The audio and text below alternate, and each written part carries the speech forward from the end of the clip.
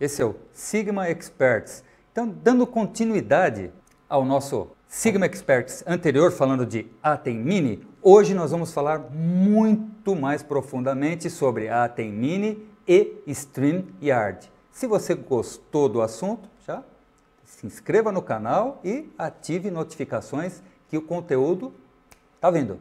Vem comigo.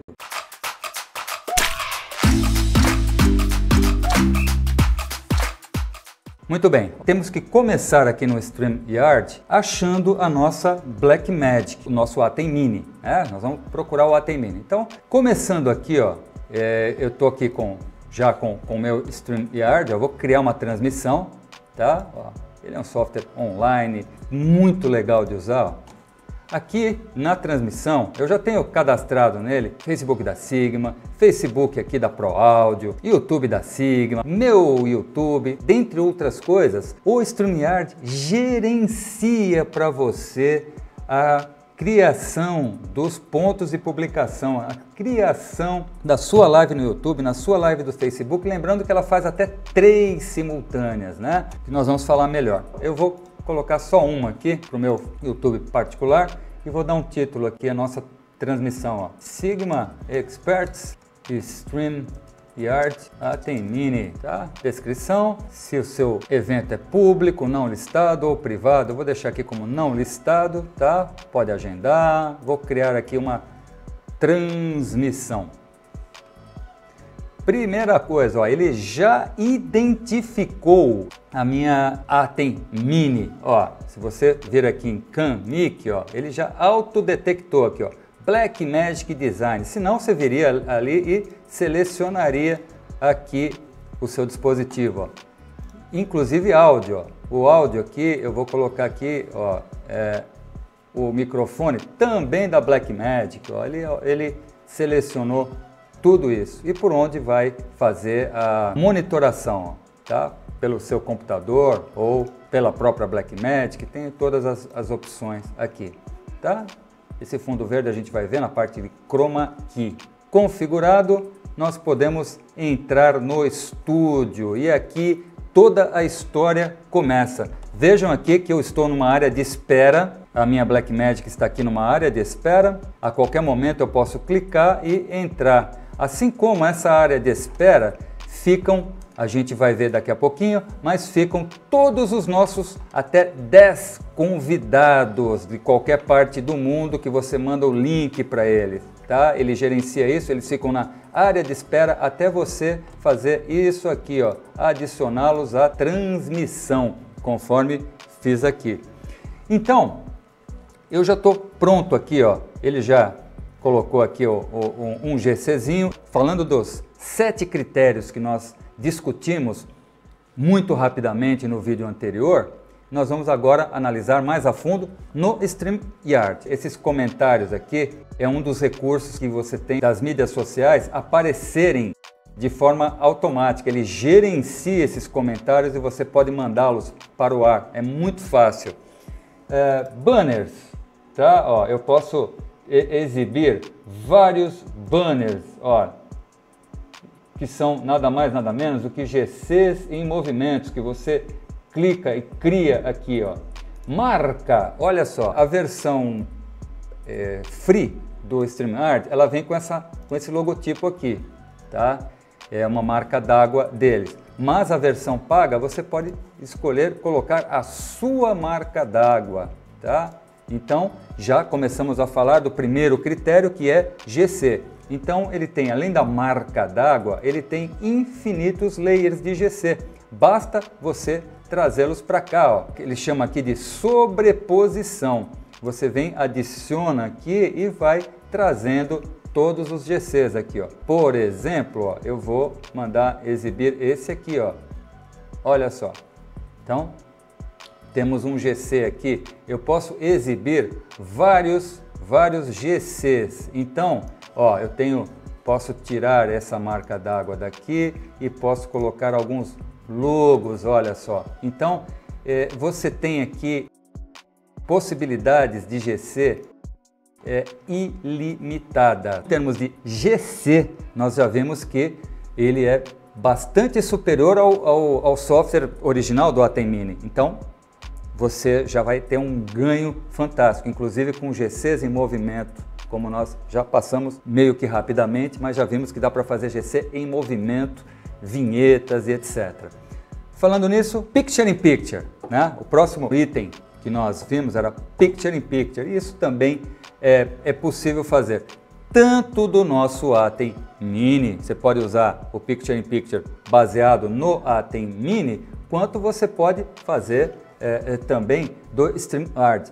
É, esses Picture in Picture, especialmente é, é, um bom exemplo dele, é quando você fizer vídeo chamadas, eles aparecerão todos no formato Picture in Picture. Então ele vai ter até 10 possibilidades, são 10, 10 convidados, tá? Então tudo vai ficar em Picture in Picture, tá? E além de você poder também interagir com o Picture in Picture da, é, é, da Atem Mini com ele. Ó, não, não há nenhum problema nisso. Aí eu vou precisar só configurar, né? Ó, vamos interagir com os dois. Eu vou pegar aqui o software da Atem agora e configurar um Picture in Picture, ó, só para que vocês acompanhem. Ó. Ele vai ficar sempre aqui ó, nessas palettes Upstream Key DVE e eu vou colocar é, um Picture in Picture aqui, que será a minha câmera 2. Então eu tenho também como interagir é, diretamente aqui, ó, por vezes é mais tranquilo você dispor disso. Ou utilizar os Picture in Picture, como por exemplo das vídeo chamadas. Vamos falar agora de Play em Matérias, tá? Olha só, eu tenho aqui a função videoclips. Tenho aqui os videoclips que eu posso carregar quantas matérias eu quiser. Ó, ele tem alguns videoclips aqui já carregados. Ó. Basta clicar em exibir e ele vai gerenciar automaticamente o áudio. Ele vai cortar o meu microfone e vai é, priorizar o áudio do videoclipe. Ó. Se eu clicar aqui em exibir, já vai entrar um videoclipe aí, olha só, tá? Assim como vinhetas, tá?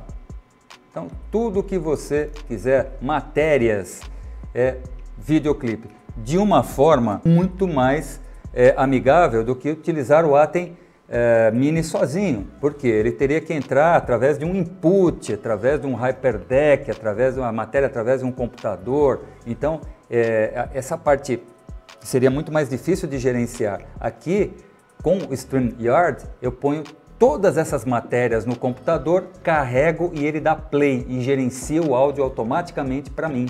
Isso é fantástico, esse gerenciamento de áudio que ele faz, é fantástico. Vamos falar de streaming e gravação no StreamYard. StreamYard faz, como eu já disse, três streams. E também deixa o material gravado por até 15 dias, tá? graças à sua licença. Ele deixa lá reservadinho para você a gravação. Então, é um, uma mão na roda, né? Vem comigo, vamos ver como é que funciona. Eu já deixei aqui ele pronto para fazer uma transmissão pro YouTube, mas eu poderia acrescentar até três, né? Eu poderia é, acrescentar até três, ó, acrescentar mais, ó, pro Facebook, até três, tá? Eu vou deixar só um aqui como exemplo. A hora que eu clicar em transmitir ao vivo aqui, ele já já já vai automaticamente comandar o isso é importante, ele vai comandar o YouTube, ele vai se encarregar. Então, o StreamYard se encarrega desde a criação seu, da sua live no YouTube até a operação dela. Quando você clica em transmitir ao vivo aí, cliquei aqui em transmitir ao vivo e ele já entrou ao vivo aqui. Vamos, vamos entrar no meu canal aqui, ó, no canal do Marcos aqui. Vamos ver se ele está ao vivo mesmo. Está ao vivo.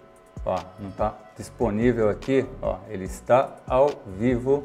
Bem, ele já comandou o início da minha live para o YouTube, sozinho. Então, além dele criar o ponto de publicação, ele gerencia, ele dá o start para o YouTube também. Ele dá o start, isso é muito importante, ele, você não precisa se preocupar com quantas vezes, quantas lives você starta o seu encoder e esquece ou demora, quem nunca, para dar a clicar lá no YouTube para começar a transmissão. Né? Então ele já faz esse, esse gerenciamento para gente. Por exemplo, ó, eu sei que eu estou ao vivo, mas eu posso, para mostrar que eu estou realmente ao vivo, ó, eu venho aqui ó, e ver no YouTube. Ó, ó, continuar, abrir uma aba aqui, ó, estou eu no YouTube. Agora nós vamos falar de video call. Não existe maneira mais simples e fácil de fazer video call do que o StreamYard. Aliás, ele, por ser um software que ele é todo online, é muito fácil tudo nele. Porém, especialmente video call, porque ele te permite até 10 contatos. Você manda o link e ele gerencia. Para quem já fez no próprio no, no próprio Atemini, é, a interação com o Zoom, com o Skype, percebe que há que tomar muito cuidado é, interagir bem com a sua mesa de áudio, com a mesinha aqui, para não dar uma sobrealimentação de áudio.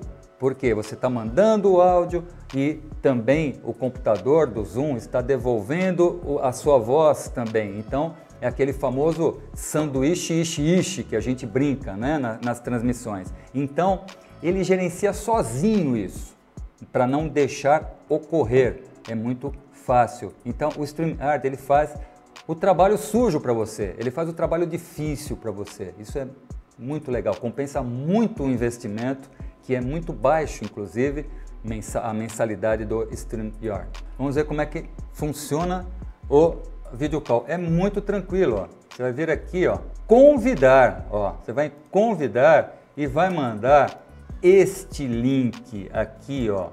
Esse link aqui para o seu os seus convidados. E eles vão via é, celular, via computador, via internet de qualquer lugar do mundo, acionar esse link e vão aparecer aqui. Eu vou fazer um chamado aqui para nossa operadora, editora, para Camila que está ali atrás das câmeras, né? Vamos mandar aqui via WhatsApp web para ela o link do StreamYard. Ó. Comand C, ela vai se logar e daqui a pouquinho ela aparece aqui, ó. Ela já vai receber. Ó a Camila aqui, ó. Já apareceu aqui, galera, tá? Ó. Olha ela aqui, ó. Ela fica aqui nessa área. E isso ocorreria com até 10 convidados, tá? Então, olha, se eu simplesmente, ó, eu, eu escolho um layout aqui, ó, vamos escolher esse layoutzinho aqui e vamos adicioná-la à transmissão. Tudo bem aí, Camila? Faz um tchauzinho pra gente aí. Eu sei que tem áudio, mas é, olha lá, está lá a Camila. Assim seria com até 10 convidados, gerenciando o áudio. Isso é mais do que fantástico.